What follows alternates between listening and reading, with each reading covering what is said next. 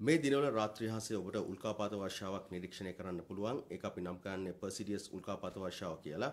මේ උල්කාපාත වර්ෂාව අපිට සාමාන්‍යයෙන් බලන්න පුළුවන් වෙන්නේ රාත්‍රී කාලේ එකේ ඉඳන් දැසන හිරු නැගෙන යන වෙලාව දක්වා ඒ කියන්නේ මේක ශ්‍රිතිජයෙන් ඉහළට මතුවෙන්නේ රාත්‍රී 1ට විතර එකේ ඉඳන් මේ උල්කාපාත වර්ෂාව ක්‍රමයෙන් අහසේ ඉහළට ගමන් කරනවා ඊට පස්සේ උදෑසන 4 5 වගේ කාලයේ වෙද්දී මේ උල්කාපාත වර්ෂාව අපිට හොඳින්ම දැක ගන්න පුළුවන් වෙනවා මේක හොඳින්ම අපට පේන්නේ සැප්තැම්බර් මේක හොඳින්ම අපට පේන්නේ අගෝස්තු 12 13 කියන කාලවල. ඒ කියන්නේ ඊයේ මේ උල්කාපාත වර්ෂාව අපිට හොඳින් බලන්න පුළුවන් වුණා.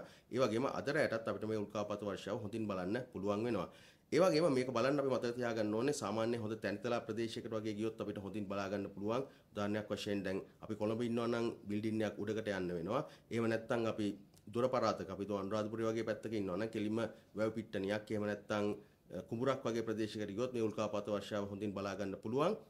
ඒ වගේම මේ දවස්වල අපිට වැස්ස අඩු හින්දා වලාකුළු වලින් සහ මීදුමෙන් ලොකු ගැටලුවක් ඇති වෙන එකක් නැහැ. ඒක හින්දා සාමාන්‍ය ලංකාවේ වර්ෂාව තියෙද්දි මෙහෙම දෙයක් බලා ගන්න බැරි වුණත් මේ දවස්වල වර්ෂා තත්ත්වයක් නැති හින්දා මේ උල්කාපාත වර්ෂාව අපිට හොඳින්ම නිරීක්ෂණය කරන්න පුළුවන් වෙනවා.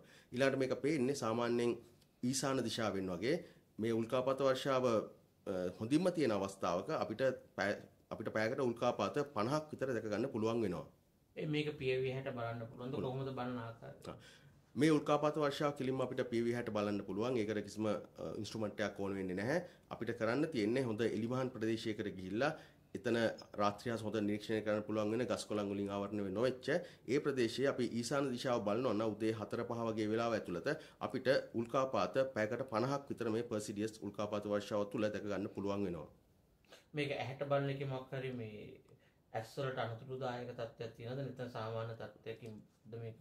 මේක අපිට කිසිම ගැටලුවකින් තොරව පිවි හැසින් නිරීක්ෂණය කරන්න පුළුවන්. සාමාන්‍ය සූර්යග්‍රහණයක් වගේ දෙයක් විතරයි අපිට පිවි හැසින් බලන්න බැරි. මේ වගේ උල්කාපාත වර්ෂාවක් කිසිම ගැටලුවකින් තොරව අපිට පිවි හැසින් නිරීක්ෂණය කරන්න පුළුවන්. මම අභ්‍යවකාශ විද්‍යාඥ ඉංජිනේරු කතිකාචාර්ය ගිහාන් වීරසේකර